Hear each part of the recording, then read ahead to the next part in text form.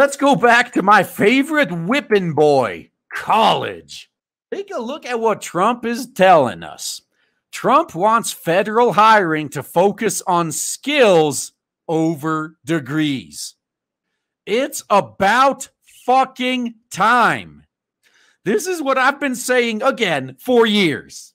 Now, let's see if they actually put their money where their mouth is. Because I'm starting to do, Trump is realizing the same shit that so many employers are realizing in current year that uh, most college degree holders that are being shat out of college these days are worthless.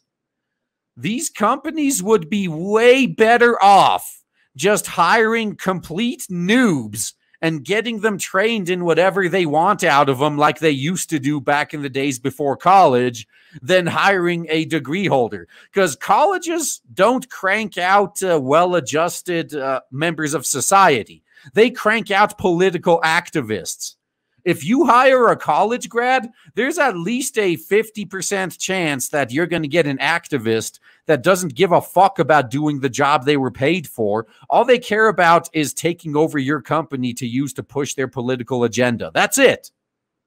President Donald J. Trump is preparing to direct the federal government to overhaul its hiring to prioritize a job applicant's skills over a college degree, administration, administration and industry officials say. Oh, he did. He signed this order. Trump is set to sign an executive order Friday. Uh huh. He did. He did. I remember outlining a new direction for the nation's largest employer the the federal government is the largest employer in the nation. That's actually I don't that really doesn't sit well with me, but it is what it is. During a meeting of the board that advised the administration on worker policy, Ivanka Trump, the president's daughter and advisor, is co-chair of the American Workforce Policy Advisory Board and has worked on improving job training to meet employers' changing needs. I've gone over this before, but in case there's some new people here, I have to say this again. The entire pitch for that colleges made to employers was, oh, hey, employers, why don't you start requiring college degrees for your jobs? I aren't you sick of wasting all of those months, if not years, and all of that money training up employees some of which might end up being total shit and you have to get rid of them and then start the process over with a new one. I mean, that's a lot of risk, right? It costs a lot of money, takes a lot of time. Why don't you stop doing that? And just hire college degree holders. Let us do that job for you.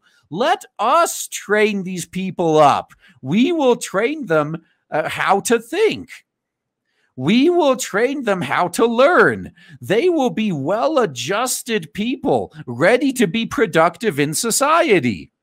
And uh, for a little while, that was true.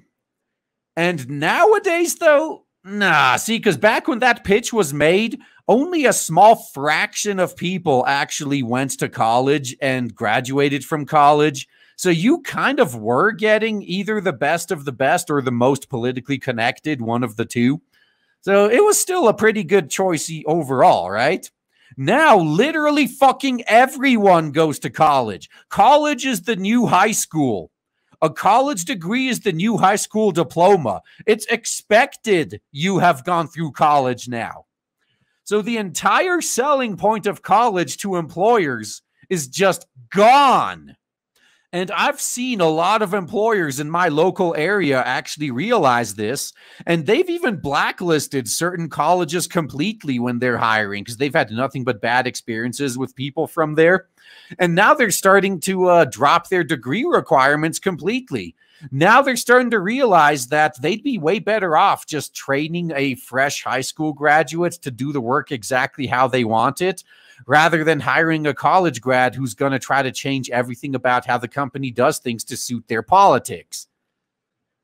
And the federal government is finally catching on to this as well, which is fucking awesome. The federal government is the nation's largest employer with 2.1 million civilian workers, ex- excluding postal service employees.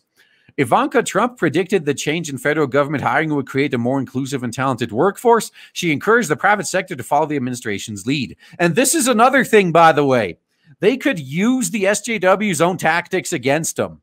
they could claim that requiring a degree is racist because of how uh, uh, how uh, inner city black kids generally don't get degrees, so they're being gate kept out of these good jobs. There you go. You could play their own race cards against them. Fucking perfect. We are modernizing federal hiring to find candidates with the relevant competencies and knowledge rather than simply recruiting based on degree requirements. Uh huh. We encourage employers everywhere to take a look at their hiring practices and critically think about uh, how initiatives like these can help diversify and strengthen their workforce. Yeah, just hire someone who uh, you know can learn quickly.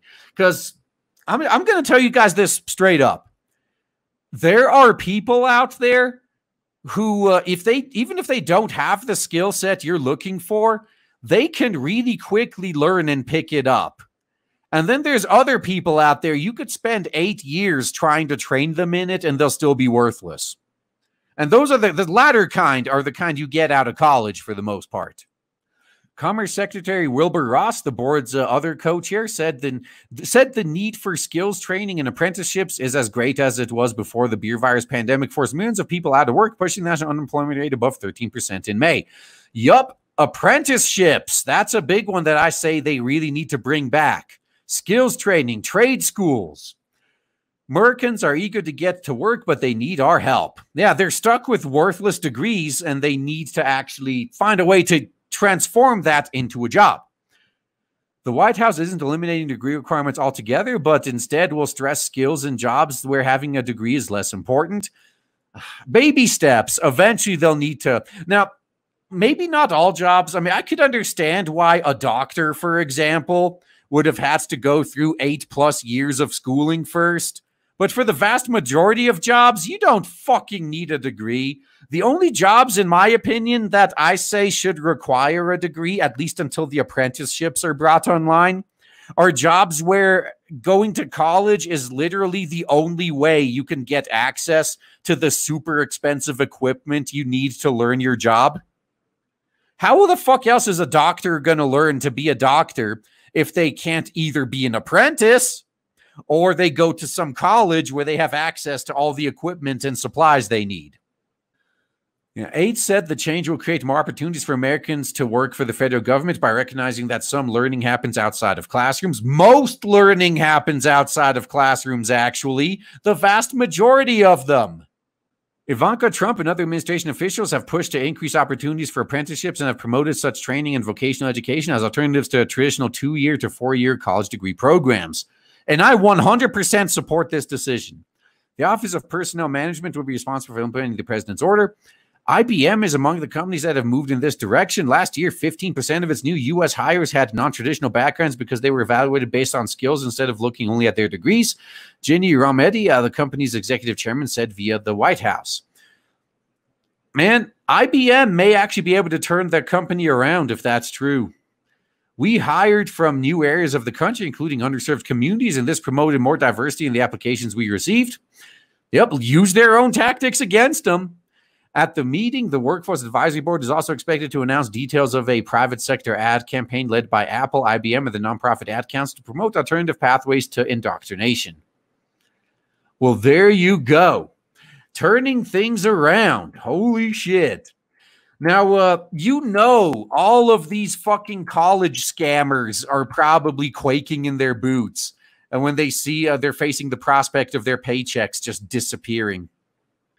Oh man, I am so excited to tell you guys right now that finally, after about a year of build-up and shilling, we have launched Blade Devil on Indiegogo, and so far it is doing so well thanks to awesome people like you.